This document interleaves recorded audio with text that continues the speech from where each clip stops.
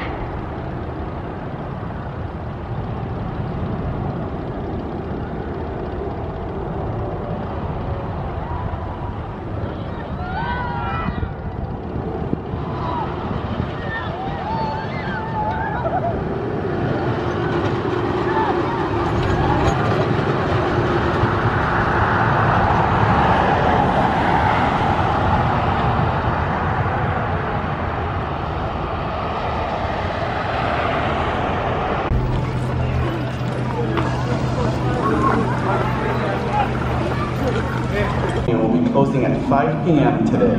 Once again, due to inclement weather, SeaWorld will be closing at 5 p.m.